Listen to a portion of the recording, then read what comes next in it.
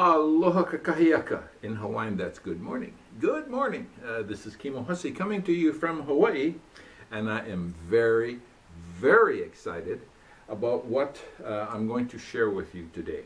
Yesterday, this wonderful, wonderful, and beautiful instrument came uh, to me, was delivered, uh, and it comes all the way from North Carolina.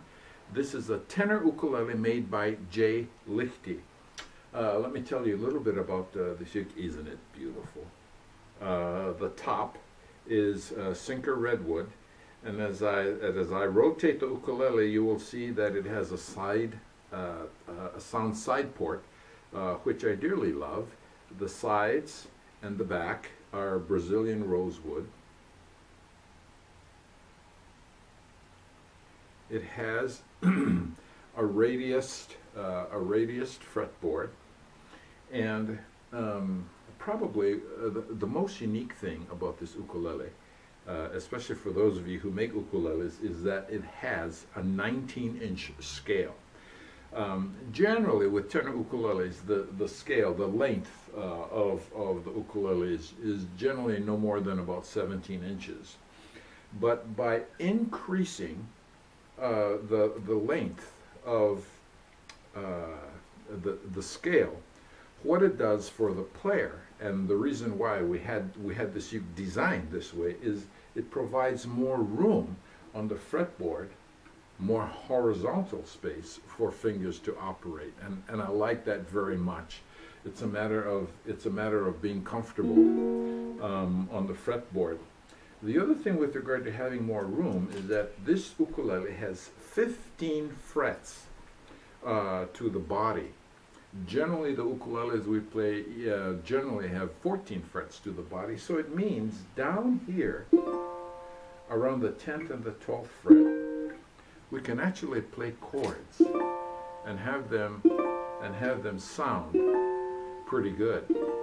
A lot of times on concert ukes or certainly on tenor ukes, once you get past uh, the fifth fret, we start running out of sound really fast.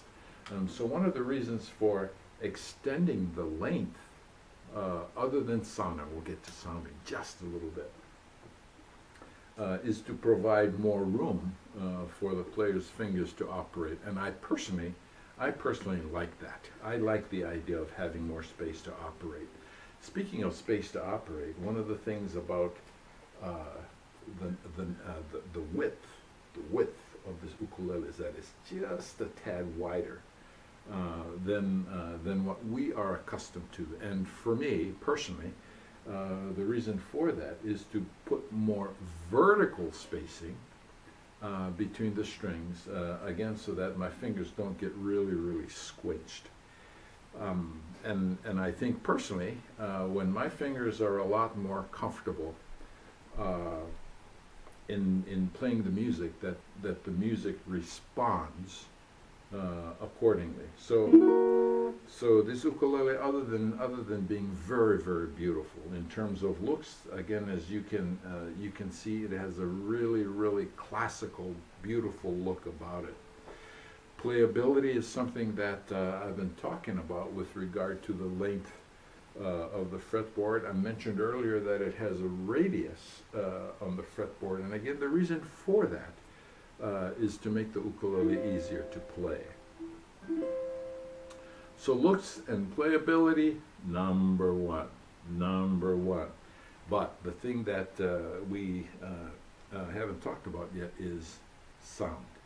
Just listen to this, and this, and this, and you notice how clear how clear the sound is.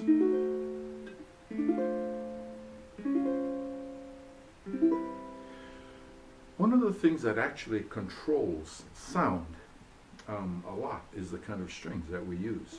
You know that there's a there's a difference between uh, tuning high G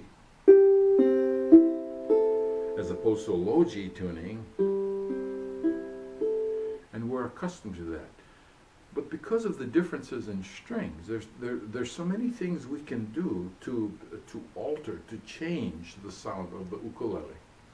And so the idea is uh, just as we play different songs uh, in, in order to enjoy different things about music, we can actually use different strings on our ukuleles, whether or not they're tuned high G or low G, to change the sound.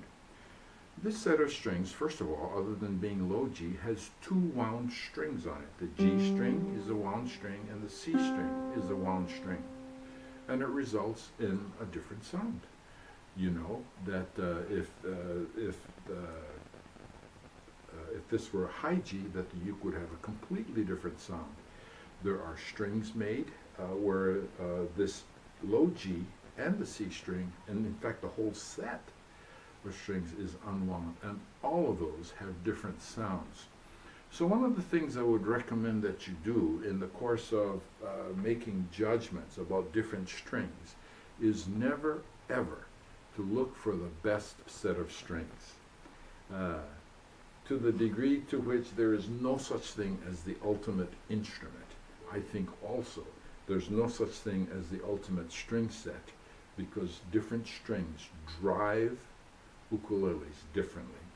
And so the wonderful thing about that, uh, about that is it provides us, uh, it's, it's kind of like a cafeteria where you go down the line and you like this sound and this sound and this sound and you're going to take that and combine it, uh, combine it with uh, this song or this other song and that's how we grow.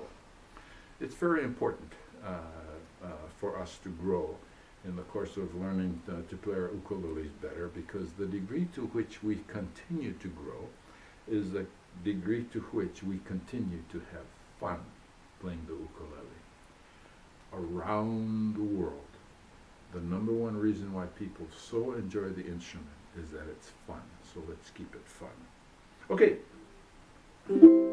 Uh, finally, let me play. Let me play a song for you on this wonderful ukulele.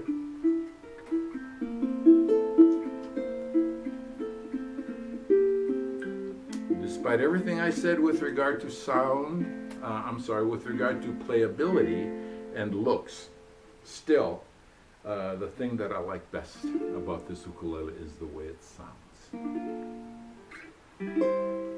I'll play a, I'll play a song for you. It's a Japanese song uh, that uh, uh, that has been popular in uh, in Hawaii for decades. the title of this song, as I know it, is Kokoni Sachiari. Uh, and, and I don't know the words to it, but that's okay because I'm just going to play the song and the melody for you.